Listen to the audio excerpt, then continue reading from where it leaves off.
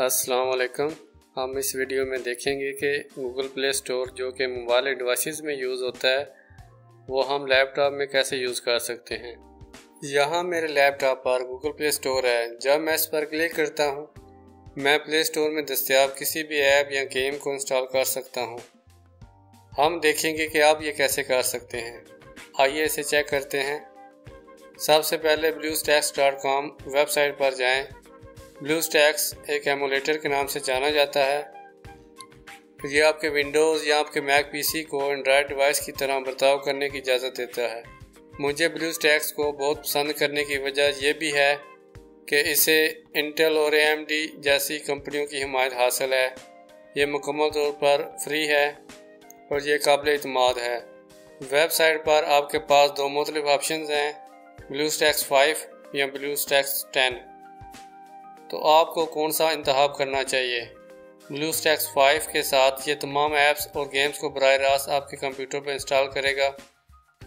दूसरी तरफ़ blue stacks ten के साथ ये या तो आपके कंप्यूटर पर ऐप या गेम इंस्टॉल करेगा या इसे क्लाउड से स्ट्रीम करेगा।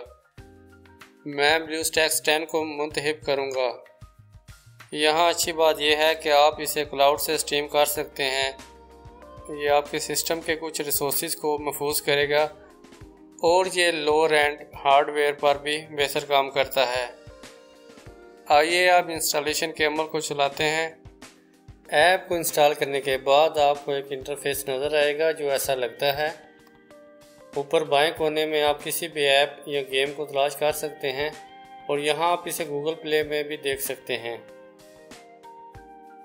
नीचे बाएँ कोने में आप इसे लॉन्च कर सकते हैं, जिसे ऐप प्लेयर कहते हैं।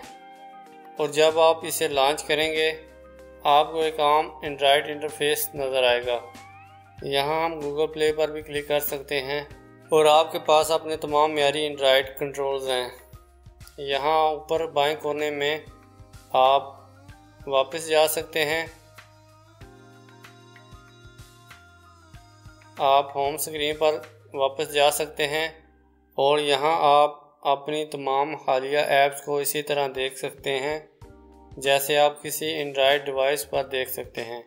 और दाएँ तरफ़ आप फुल स्क्रीन मोड पर क्लिक कर सकते हैं।